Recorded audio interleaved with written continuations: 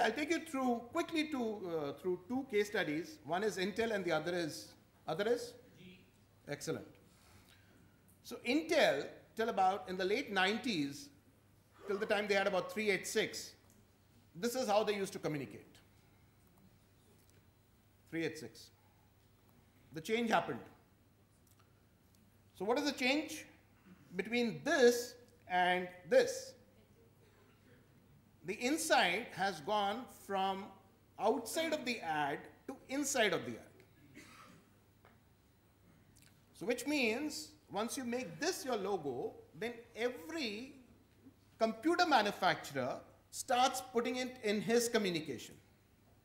So Intel did a very smart thing. They invested a lot of money in this. And what they found was that this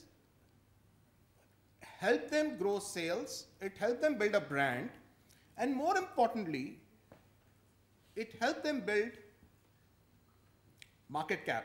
You know what market cap is?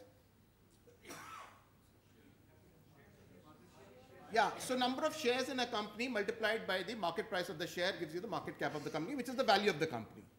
And if you deduct debt from that, it gives you the value of equity in that company.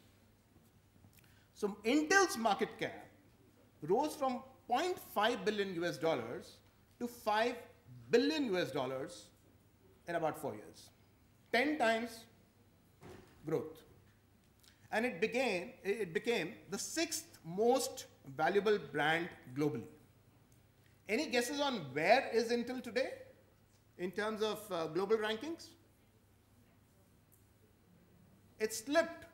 It was uh, sixth in uh, 2001. It became 6 in 2001. Today it's about 25.